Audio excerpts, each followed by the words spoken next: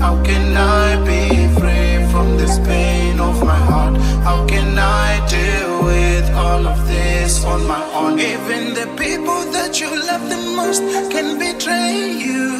Just be careful with the ones you bring so close to you.